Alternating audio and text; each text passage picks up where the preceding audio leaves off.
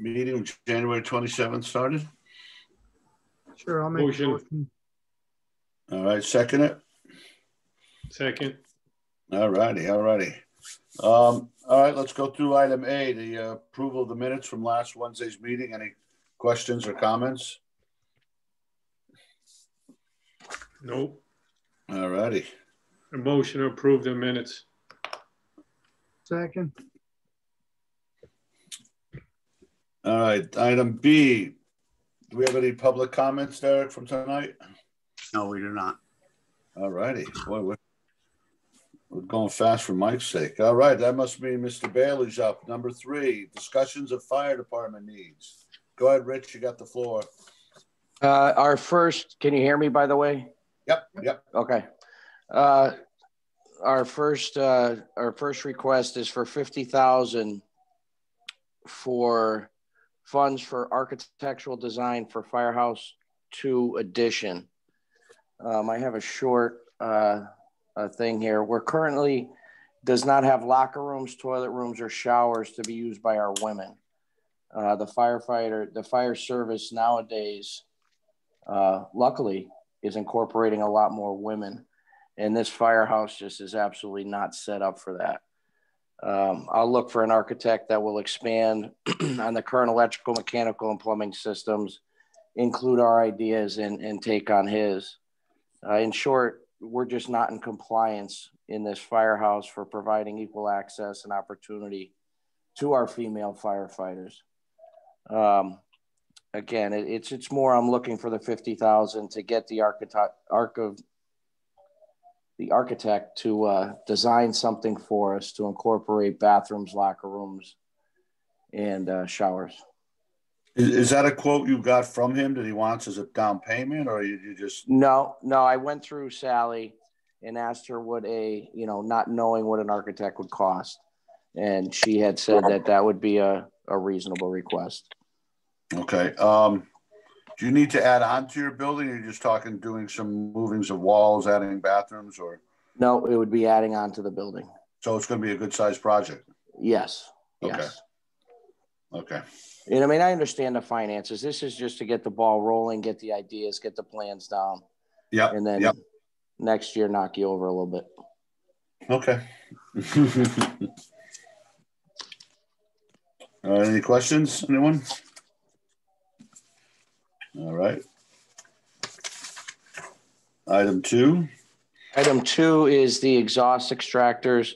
Uh, we've talked about this about five years ago, if you guys remember. Um, I actually have brought in some vendors. Uh, there, I'm asking for forty-five thousand, by the way, for this particular project. I think that's well in the order that we can get it done. And it's basically going to take all the exhaust out of the apparatus bay floors uh, upon responding and returning from alarms.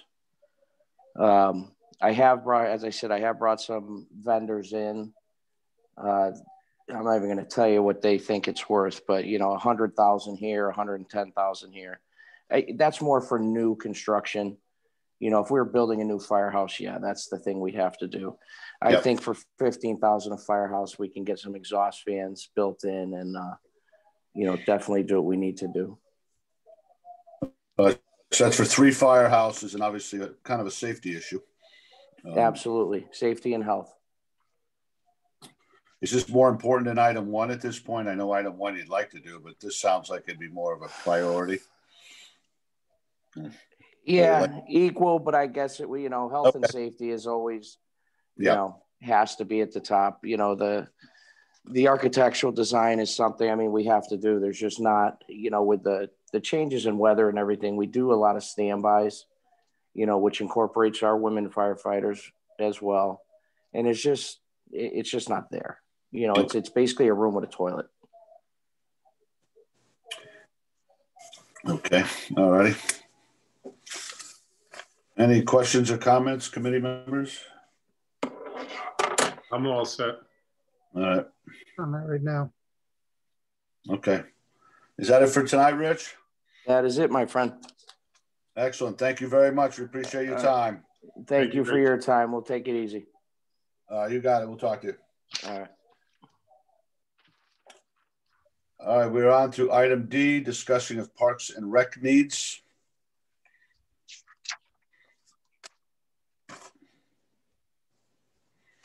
And who will be handling that? That would be me, Kathy Bagley. Ah, okay, okay, hi Kathy, I- I'm back again. welcome aboard. Good evening, everyone. Um, I think many of these projects are going to be familiar to you. They've been on our list. So I thought I would quickly go, just go through each one and, and stop if you have questions about them. Would that work? Yeah, Yeah, that'd be great. Just go through each item and then we'll we'll stop you if we have any questions or comments. Perfect. And um, I'm, I'm looking at our, I, I submitted our Parks and Recreation Advisory Board, their priority list. So it was a, pro- their project needs list. So I'm gonna go right down the list and it starts with, um, over at the Nature Center. Um, we have our sidewalks and concrete ramp, the ADA ramp that are right in front of the building.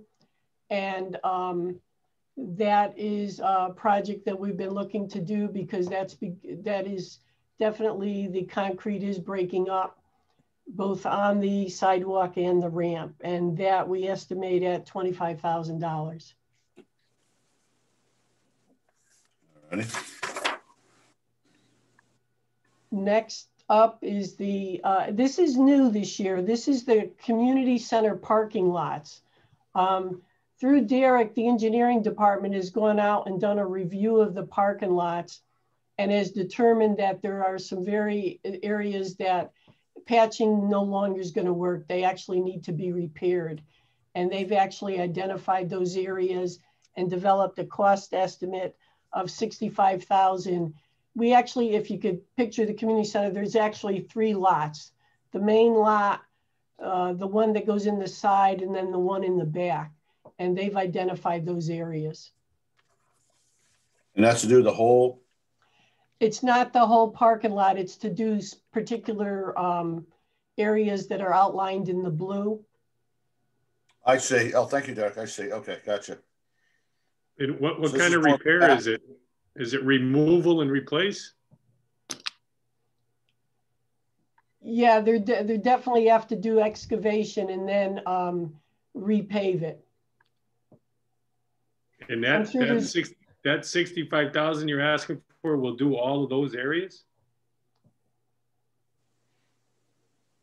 Yeah, Mike, like- that, yeah, that, I can answer that. That is, um, not necessarily full depth in all areas. Um, some areas we could just take off the pavement, I think regrade and repave. Um, Okay. so- So for the most part, yeah, we felt that, we came up with a couple of different prices. One was a lesser cost for uh, less of a repair, and this is more something that'll, because the parking lot in general is in pretty good shape. There's just these areas that are really falling apart. So we're gonna address them now. It'll buy us enough time till we get to a point when the whole parking lot's gonna need to be redone somewhere down the road. All right, so you you saw cut, you Yeah, saw cut these out and then, Yeah, Okay. these blue lines represent the areas that the price reflects. Okay. all righty. Could I just ask, uh, so is this materials and labor? And would the labor be contracted out? Or is it uh, our town staff who would do the repairs? Estimate was based on our consultant, our on-call contractor doing the work. We have a contract with them through this year that has pricing for this type of uh, repair. Okay, thank you.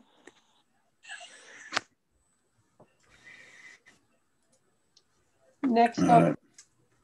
Uh, is item three, the Greenfield softball field fence. This is uh, definitely um, one of our top priorities. Uh, We've had Little League asking for the fence. uh, We've been repairing it. And it's, um, it's, it's time to replace the fabric. And this would be to replace the fabric. We do have the, um, we did get a quote from a contractor that we could leave the poles in and replace the fabric and the cost is fifty-three thousand dollars. I was talking with Little League today. We had a meeting with them about uh, hopefully the spring season. And um, they had asked, they knew that they also have another item on here for their item number seven A is their Little League Classic Field. to do renovation and drainage work. That's a big ticket item of $170,000. And we have $20,000, $25,000 set aside for that project. And they wondered if that could be used as part of the uh, an allocation for the funds to try and get the Little League field fence done. So that would just be something I'd ask you to consider. It's going to take us a while to get to that $170,000. And they wondered if it was possible to take that 25, put it against the 53, and then I'd only have to ask for 28,000.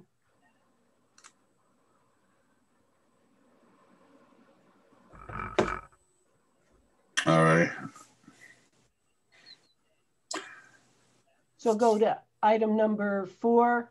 It's our community center lobby and the, it's the flooring in the main hallway. Uh, we do, we are looking to replace that. That's a cost of about $35,000. And we're looking to get rid of the con the carpet in that area and do, um, do both carpet tiles and um, we'd like to look at the polished brushed concrete in that area. It gets so much use. And we think that would be a more long lasting and endurable, a durable uh, surface for the community center.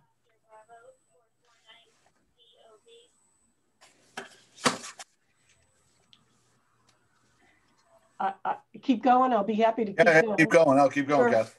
Um, the number five is is keeps us going on our basketball tennis court. We get money. We try to get money every year to go in and fix the cracks, resurface the courts. So now we're up to the Farms Village courts on Cedar Street and the old reservoir, both basketball courts. And this this funding of 35,000 would get us to get those two courts renovated. And we just finished um, Standish and Greenfield basketball courts and Standish tennis courts. So those all came out really good over the past um, season. Uh, late fall, we were able to do those. Number six is uh, every year I'm looking just to add more parking in the Millwoods parking lot that's a $70,000 cost and we already have almost 35,000 set aside for that.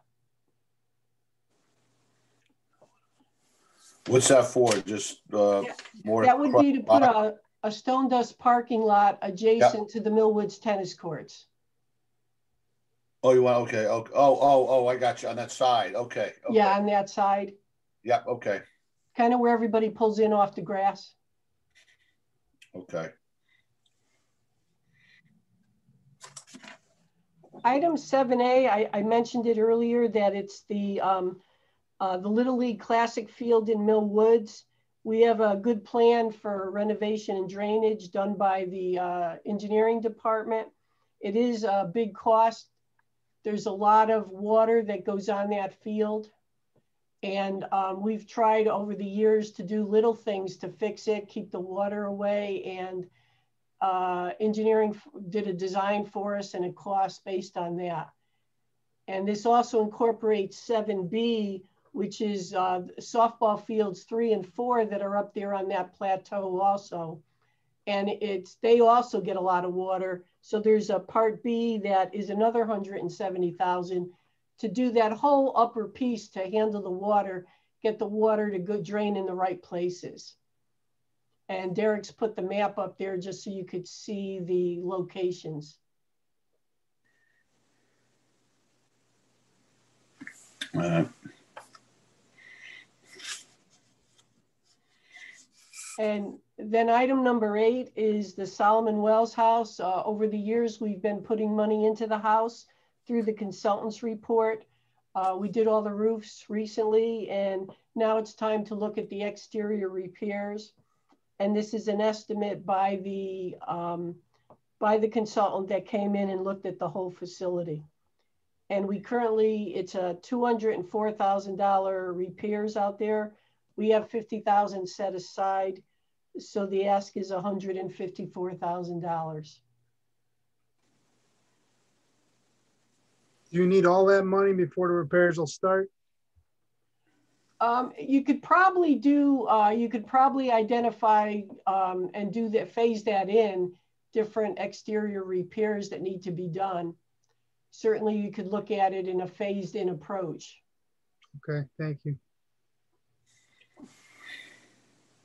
Number nine is the high school baseball field renovation. We've had this on the books. It'd be the next field we'd also like to look at.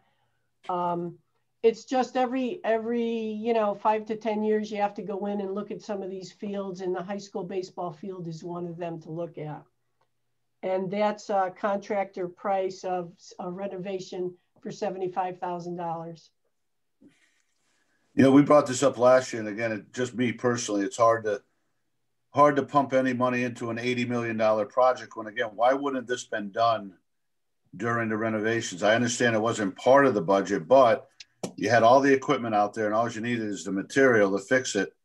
And again, more of a frustrating comment than anything, Kathy. I know it's not at you, but in general, you know, we just did a brand new, beautiful school, and now we're asking for more money towards this school, which it's hard for me to agree on something like that. Just you know, but I understand my my son played baseball. I understand the condition of the baseball field, but again, you figured it would have been done during the massive renovations when they had all the bulldozers out there and everything else. But anyhow, well, let, me, let, well, let me respond to that, if I may, as the chair yeah, of the renovation.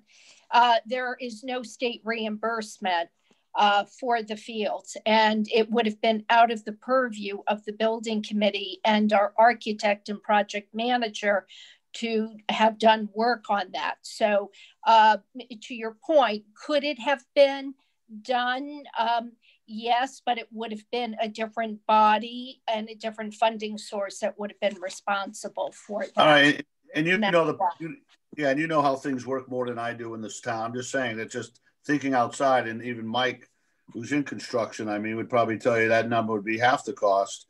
Again, because we had all the equipment out there and everything else, we just needed material. But I understand, Christine, what you're saying to me and how how things work. But it just, again, put money into a brand new project like that after eighty million dollars. I understand. Okay. Mm-hmm. Thank you, Kathy. Number number 10 is, uh, as you know, I always put in the Samuel Wells House parking lot. and uh, number 11, the Millwood soccer field. I put both of those in. And partially when I talk with the park board, we always identify them in our, um, our requests for the upcoming year because we're also always looking for grant opportunities. And one of the key things they always ask is, is this in your capital improvement plan? So um, we do continue to identify those projects. All righty. Any other questions or comments for Kathy?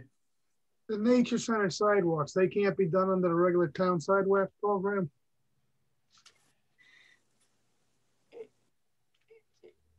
It's considered a bigger project. Yeah, our, our funding is limited for the sidewalk program. Um, so with this being a separate project, uh, it would just make more sense because usually my operating for sidewalk repairs are only is only about 35,000. So this would chew up a good portion of that. And then, as you know, I come to you for uh, ADA ramp uh, compliance, and that's a separate yep. source. Yep. So, okay.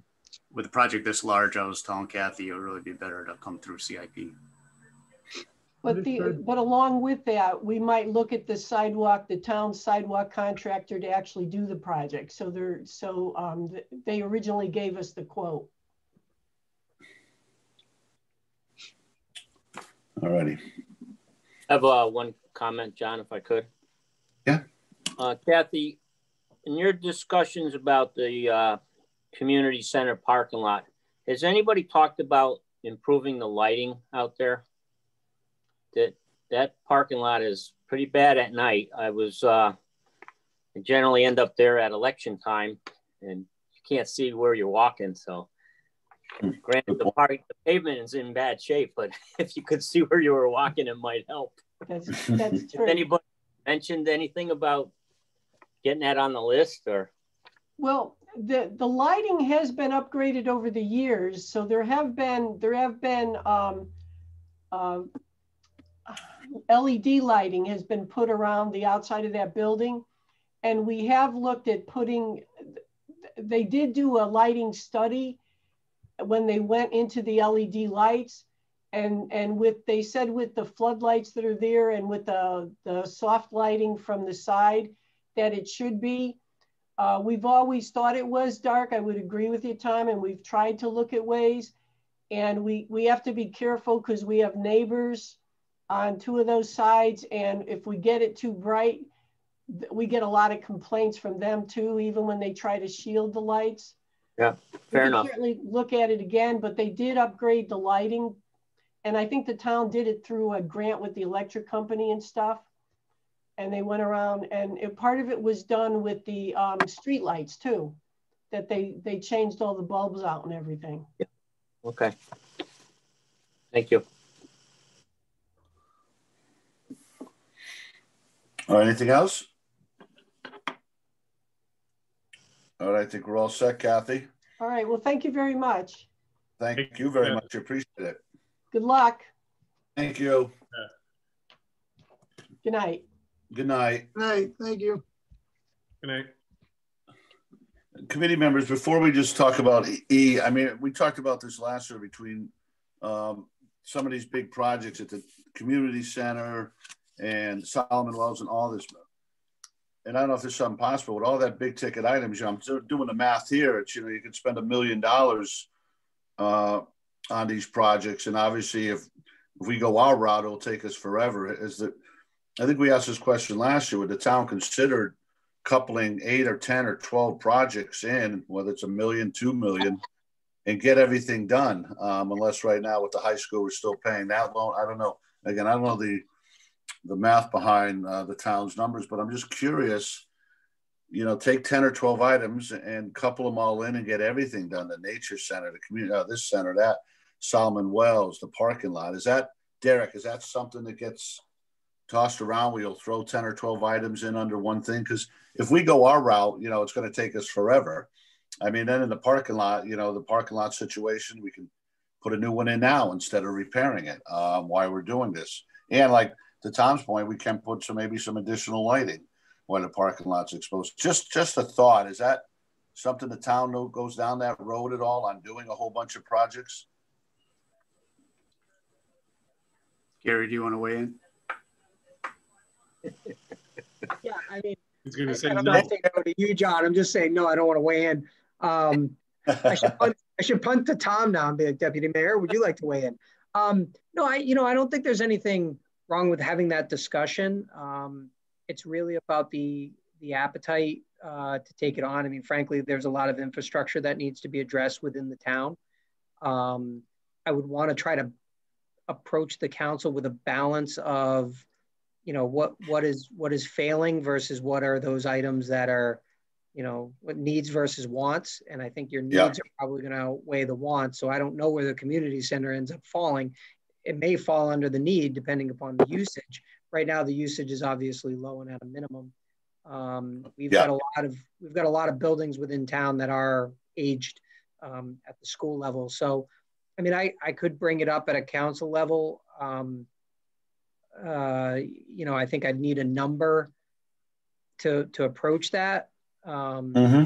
looking at things that are starting to fall off. Um, I don't know I, off the top of my head. I can't remember where we are and how many years are left on the uh, school. But obviously, we just bonded for Keisha, and there's going to be 10 years left there, 11 years left there. Um, I'm not saying you can wait 10 or 11 years, but obviously, from a debt servicing standpoint, we want to try to keep that number low. Um, Yeah. So you know, I I- we could probably compile the numbers and create a needs versus wants or maybe something that's Yeah. in between that might be both and you could as a CIAC you could you could make a recommendation for consideration um, and you could bring it to leadership for them to kick around Okay. All right, I'll I'll, look uh, at the number. Good. Okay. I'll- All right. comment also, if you don't mind. Uh, so we have talked about it a little bit. Um, problem, you know, I think Sally Katz really said it very well last week. Uh, you know, we could spend millions of dollars fixing roofs and no one would even know we did it. And Yep. uh, it's hard to hard to go to the taxpayers and say we want to spend, you know, six million or ten million dollars, and you know you're not going to get a beautiful high school to look at or use. You know, you're basically maintaining what you have, and you know a lot of the infrastructure nobody even sees the heating systems or the roofs, and it's a it's a tough sell. So yeah, I agree, Tom, with you because if you put on a three hundred thousand dollar roof, no one sees it. But if you put a three hundred thousand dollar facade on a building, it's like wow, cool. No, right. I agree. Maybe maybe something to your point is that we take a whole bunch of items that are uh, seen by the eye, whether it's new siding and uh, you know new this, uh, anything that can someone can walk and see a new building renovated, a new parking lot. Maybe we would consider doing those items, and then we could take a lot of our other money here and put it towards the roof and the infrastructure that no one sees or no one talks about. And that's a good point. So I mean, I'll, I'll play with some numbers and just present them to committee members, but we can you know do a ten or twelve projects that people see, you know whether it's painting this building, renovating this, renovating the parking lot, doing whatever, and then we save our money for the for the things like you said, Tom, that never get recognized but have to be addressed. Without the infrastructure, we have no town. So, to you to know. your point, John, and, and part of that conversation, the third option on on your example is you could carve out a piece of your CIP money and put that towards the debt, right? So rather than increasing the debt payment or having a separate debt payment, you reduce your 900,000. Problem is, you know, I, and it was my recommendation, but reduced it last year. Um, so the question is how long, how long can you do that before nothing moves forward? Um, but yeah. it is, you know, the thing, community center as an example, you look at what does it generate for revenue? Could the revenue stream be diverted to the debt payment? You know, there, there's, there's a larger global picture you have to look at, but it, it is, it's a tough sell. Oh, I agree. I agree. If we're taking in a hundred dollars a month on that, then it's not worth to dump all that money into. But I, yeah, is that you know does that get rented a lot? Uh, uh, there's the other. What's the other one? The old Solomon Welles. Uh, does that get leased a lot? Yeah. Is that the right right name? Senior center, like programming that takes place at the senior center. I I can say that I, although um, a number of them have left me alone in the last six eight months because of COVID, but I typically in the last year, the year prior, I was approached on a regular basis by a number of seniors saying, "When are you going to fix the bathrooms? When are you going to address this? When are you okay. going to that?" Okay. The system, the HVAC system, all of that stuff is outdated within the community center. People aren't going to rent it anymore if it keeps going that direction. Without a doubt. Um, okay. Uh, but well, I do enjoy the group of seniors. Well, the other thing too is to appeal to people as consumers, right, of, of their own household budgets and repairs. Maybe show people what some of these repair costs are. Yeah, they don't see them, but once they see dollars, you know, um, that that may be compelling enough to support um, some of these uh, the projects.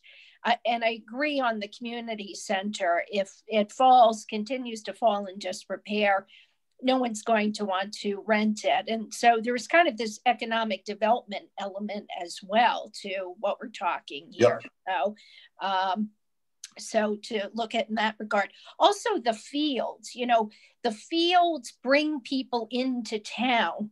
They're heavily used. You have outside teams coming in. Um, I don't recall if they generate income or if they cost us more, but um, but looking at fields as well because they um, are constantly in in play. And um, you know drainage uh, you know that is you know that could even have legal you know ramifications in terms of lawsuits if people are getting injured if the fields aren't um, in good shape. So um, so I throw that out there. And then you know, I know we'll talk about the different projects, but I think with the firehouse and what Rich presented, you know, we have a potential, um, you know, uh, Department of Labor, you know, lawsuit there, if you will, if if we don't have parity in that facility for um, for our female employees. So, um, you know, so we're going to have to look at that too. But those are yep. just kind of my my thoughts on nope. uh, but but but John, you know, you're you're definitely um, you know thinking in the right direction on this. You know, uh, yep. in terms Good. of these these projects. So yeah, um, I, I support whatever recommendations you, you bring forth as our chair. Thank you. Thank you. All right, sorry for getting off the agenda a little bit, but I just want everyone to be aware where, where my head was. Um, all right, our next uh, item E, discussions of drainage, pavement, maintenance, and sidewalk needs. All right, everyone.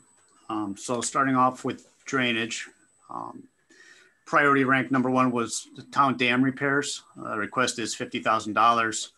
Um, this is a project that's mandated from DEEP Dam Safety Division. Uh, last year had come in to you uh, with a request for $100,000. Uh, committee recommended $50,000 allocation and it ended up being reduced to $25,000 uh, at the town council level. So we do have some funds to, to put towards the consultant. Um, you may remember we did inspection reports back in 2016. We had a consultant uh, give us a report and there were these four dams in town. Town owns nine, four of them required some minor repairs uh, that needed to ensure the dam embankment stability.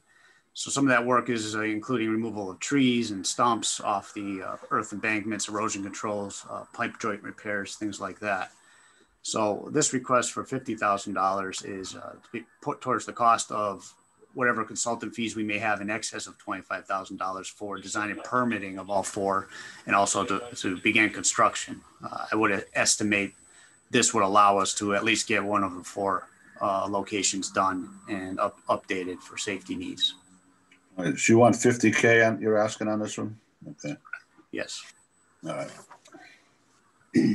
Uh, project number two is replacement of Copper Mill Road culvert over Goff Brook, preliminary design. Um, you haven't heard about this one before. This is a $20,000 request. Um, the state considers any culverts that span or have a total width of six to 20 feet to be bridges. So uh, we, we had gotten some funds from your, your, committee previously and had a consultant go out and inspect seven bridges this year. Um, I did provide in my submittal summary of those inspections. Uh, you'll see number one, as far as need, is the Spring Street culvert. However, we were fortunate this year to get a million dollars in state grant and aid funds that can go towards that project. That's going to be a larger project that's going to address the drainage issues, but we're also going to look at park amenity improvements as part of it. So I'm looking at the number two project that we need funding for, which is this one at Copper Mill Road. Um, this location has an estimated useful service life of less than 10 years. It was originally identified back in 1995 when the town had a consultant do a drainage study throughout the town. Um, it is undersized and is a flooding risk. That was the reason for replacing it at the time. At this point, we still have that issue, and we also have some structural needs that need to be addressed um, to avoid. 20 grand finishes this project. This will get the design done. So what we're looking to go into is the state local bridge program. Okay. These bridges qualify. It's a 50-50 funding split between the state and the town. So working with our consultant, this would allow our consultant to do some preliminary engineering and get to a point where our application would be more competitive. Um, from what I understand from the program, it's very competitive. A lot of towns go for the money. Uh, so this would allow them to do some preliminary engineering and get the application prepared. So for the next solicitation, we can submit. They just had one a few months ago. Um, because the fact we haven't gotten very far, you know, we haven't started really design yet. We held off on submitting, but we are hoping to um, submit for the next one that comes in. So that program only uh, funds 50% of culvert replacements. They don't fund rehab. Uh, I guess they used to, but with money being tighter now, they're just sticking with replacements. And I talked with the consultant about that for these various locations. This one in particular, um, rehab is is possible. It will not address the flooding issue that was identified back in 1995 or the potential for flooding. Um, however, the lifespan on a rehab is about 25 to 30 years versus a replacement. If we go with concrete materials, you know, you could look at 75 to 100 year uh, lifespan. So I think based on the fact that we can get 50% funding, uh, if we can be competitive in this program, in the in the uh, life of the project, it would be worth it to replace, and that was their recommendation as well. So this request is based on uh, the, the, quote I got from Cardinal Engineering, uh, who's our consultant that did the bridge inspections to begin with for, from this past November. And uh, this work would cover at least getting us to an application to uh, try and get some of that state money. All right. Okay, number three is town bridge inspections, phase two. Um, you may remember you did give me some money to do initial inspections of uh, seven bridges that DOT had looked at or had screened and said we should do further investigations. Those were done, and that, that was just discussed in the prior uh, item. So this is a request to inspect the additional additional nine bridges that the town owns. Uh, we have six that fall into this local bridge category of six to 20 foot spans, and we have three that are actually larger than that. Um, so the reasoning for this request is uh, I'm looking to get a complete inventory of all our bridges and their conditions at this time. Um, that will help me going forward as far as defining what the requirements are at each location and prioritizing them. And then that will help me with, with CIP planning and identifying potential funding sources as we go forward. Um, these bridges, I, I, don't know the last time they've been looked at. I really can't find any files on them. So I, this will give me a baseline to work from going forward uh, for preparing um, you know, what we need to do and what we need to be thinking about. So this request was based on a, another quote from November. Um, they had quoted it based on each culvert, and then there's sometimes a need for divers depending on how much uh, water flow there is there. I know when they did the first phase, they did need divers at a couple of the locations, so it's inflated a little bit to cover the cost of that if needed. All right. Okay, priority four is going back to the Copper Mill Road culvert over Goff Brook. This is for final design and construction. Um, as we noted above, or as I stated with number two above, um, the culvert requires replacement and we're going to go for state funding. Estimated cost of the project is, with design and construction is probably around $600,000. We'll need to come up with half of that. Um, this will begin to fund the, the town's portion of that request. I understand the discussions we've had about fully funding projects and trying to get some off the list. But being that that's a pretty large uh, dollar value, I'm, I'm trying to start early. Um, my understanding with the solicitations for state local bridge programs is that they will um, often be looking for us to have the money available pretty soon after they approve a project. Uh, you know, I got the sense from talking to them, maybe two or three years would be reasonable. But if we are at zero when we get approved, then it's going to probably take us longer to get to that point. So this is to start funding that with the anticipation that this is going to be our next highest priority and we're going to have to deal with it sooner than later. So that's what that request is related to. So 50 grand for that, okay. Okay, then going to pavement maintenance. Uh, the first sorry, item, sorry, before you move on, I'm going to have to, uh, I'm, John, I'm going to have to sign off. All righty. We'll talk to you next Wednesday. I will see you next week. Thank you, yep. everyone. You got it. All right. So for pavement maintenance, uh, road and parking lot pavement evaluations and asset management software is the highest priority on my list. It's a $50,000 request. As you know, serving as the paving advisory committee, we typically evaluate our roads every five years. The last time we had done that was in 2016. The last time we had our parking lots all evaluated was back in 2002. Um, so this is the request. We usually come in every five years looking to have our roads uh, reevaluated. Um, they do change over time as far as conditions. And, and at this point, I'd, I'd like to get a new run of where we are so I can plan the programs going forward and also have that time in advance to coordinate with the utility companies ahead of our projects. Um, the same thing for the parking lots. We, if we can get a baseline on where we are now, we can have some priority schedule and work towards either obtaining funds if we can get them or CIP funding for where, where the needs are.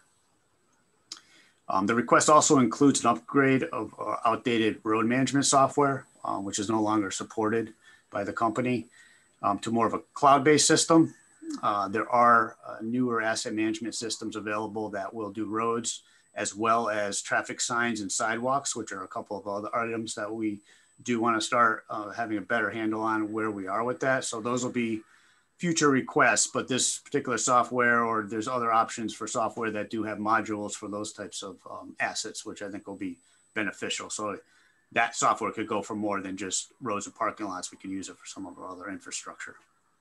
So the cost on that was based on some quotes I received from VHB um, from this past November and uh, just a few weeks ago. Um, so they're pretty current. Item number two, Uh, you may remember from last year, this is Straddle Hill Area Road Settlement. Uh, I had explained to you last year that we have an issue up in this neighborhood where drainage and sanitary sewer trenches installed back in the 80s. Um, they're still settling throughout this neighborhood. It includes Straddle Hill, uh, Silo Drive, Willow Street, and some of the adjoining roads. Um, the settlement's causing potholes. It's a safety issue. Um, we have done some temporary repairs, but even those are starting to settle. Committee last year recommended $50,000 towards the project. Um, ended up being 25,000 um, at the town council level. Um, that will allow us to get a, at least get a consultant on board uh, to conduct some field testing and provide recommendations on how best to address the situation. You know, obviously we want to address this before we get to paving the roads and they are coming up or I anticipate they'll be coming up in the next few years. So I need to identify what's going on out here and come up with some repairs before we get to that point. So uh, this funding request is really to start funding uh, construction in the area. Right now, Straddle Hill, the lower segment, maybe about 1,200 feet up from Willow Street and Scotts Way, which is off it, is the worst area. That's where I get the most complaints from residents. Um, I usually am getting every couple months at least somebody complaining from that neighborhood about the conditions out there. So that's the worst one, and that's the one I'd probably attack first as far as getting it repaired and then getting uh, the road restored or repaved sooner than later. Um, and then as far as the other areas, I think we talked a little bit about this.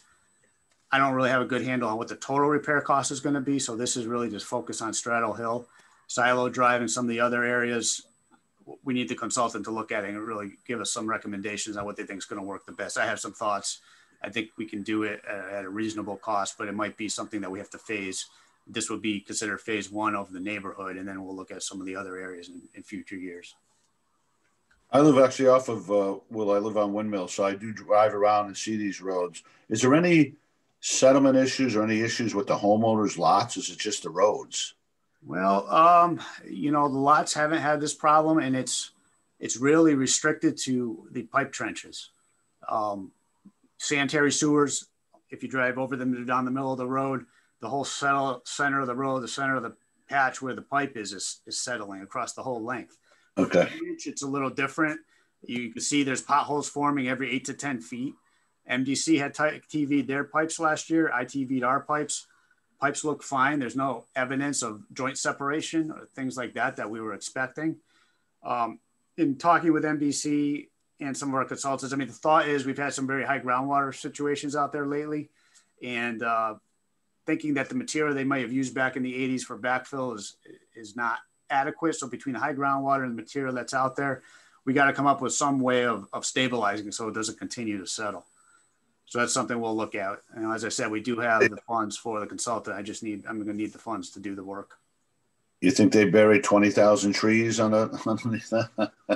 well, if they did it every eight to 10 feet, maybe. Uh, the rest of the roads are, are fine. It's really just over those two utilities. So okay. you know, MDC, I'm still in conversations with them. Um, you know, they may have some liability in this too. And uh, I just need to, at this point, I want to get to, you know, what needs to be done and then we can figure that out with them. Okay, so you have 25 and you need another 25 basically. Well, the request is for 50. Um, right now, I don't know what the Straddle Hill area repair is going to cost because we haven't had the consultant evaluate yet. Um, I expect that would cover it. If there was anything left over, it would go towards the rest of the neighborhood that's going to need it. Okay, good. Project number three uh, is traffic sign inventory. Um, the request is $25,000. This is a mandated project. Uh, you may remember from last year in June 2014, a Federal Highway Administration required municipalities to implement an asset management system for traffic signs that's intended to ensure we have proper retroreflectivity for nighttime driving, that the signs are bright enough, they're properly sized. Right now, we don't have a formal asset management system. Uh, we have approximately 3,500 signs in town, so it's a good number of them. So this request is retain a consultant to conduct some field data collection. They go to each sign, they locate the signs, they give us dimensions, the retroreflectivity, and then that way we can use that to better manage the system. Um, initially, it'll give us an overview of how much we need to do, and then we can figure out what we need to do and how many years it'll take to do it.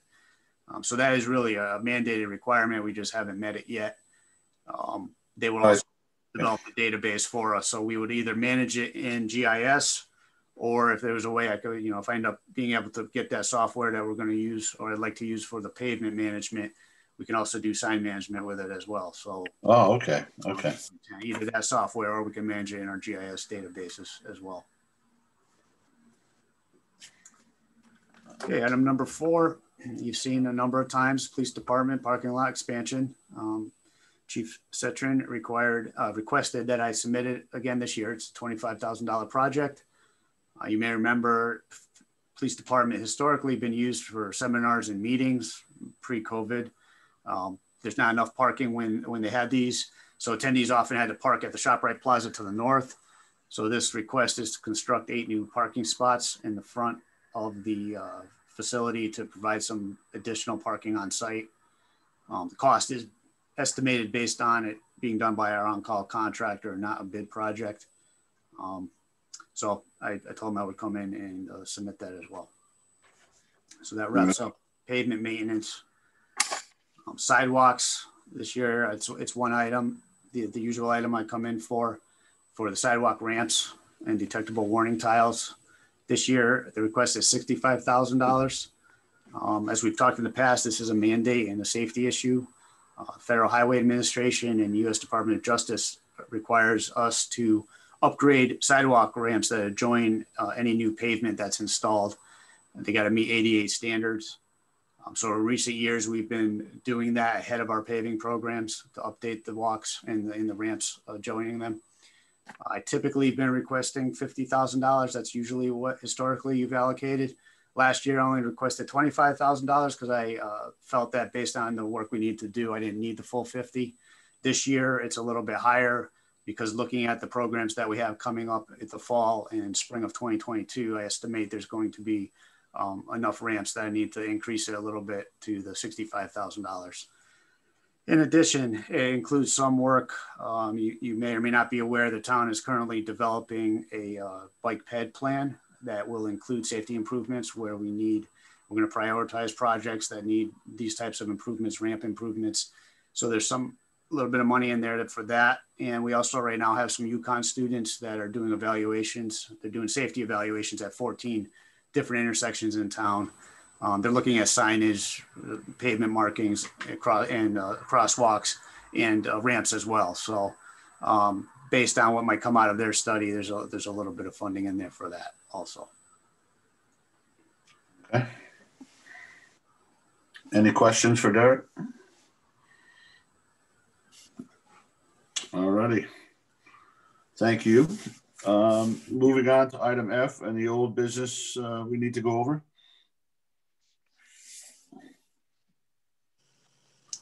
All right. So, no. All right, and item G. So we are on for next Wednesday, 5 p.m. Um, I assume, Derek, we've done meeting with everyone and talking to everyone. It's time to crunch the numbers. Okay. Yeah, yeah well, uh, next week I'll pull up the spreadsheet and uh, you know we'll go through our through the normal process, go line by line, and. Okay. Yep. Perfect. Perfect. All right. All right. Sounds good. Um, We'll go to item H, which is adjournment. Would anyone like to make a motion to adjourn this meeting on January 27th? So moved. Second it, please. Second. Excellent, excellent. All right, everyone. Thank you very much, and we'll see you uh, next Wednesday at five. All right. Thank you. Have a good night. Have a good night. Derek, thank you. Appreciate it. All right. Good night.